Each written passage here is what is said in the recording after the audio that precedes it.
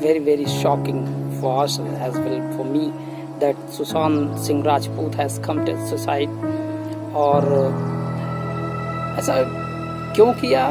I can believe Sushant Singh अभी हमारे बीच में नहीं है। और ये सिर्फ़ मेरे लिए ही नहीं पूरे फ़िल्म जगत के लिए इंडस्ट्री के लिए बहुत ही बड़ी हानि कह सकते हैं आप। नुकसान है जो कि हम आने वाले कई वर्षों में नहीं भर पाएँगे। और मैं बहुत ही दुखी हूँ सुशांत के ऐसा करने पर।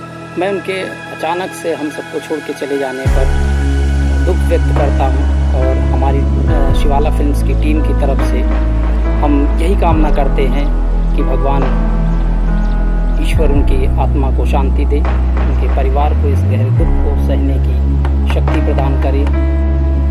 We will miss you.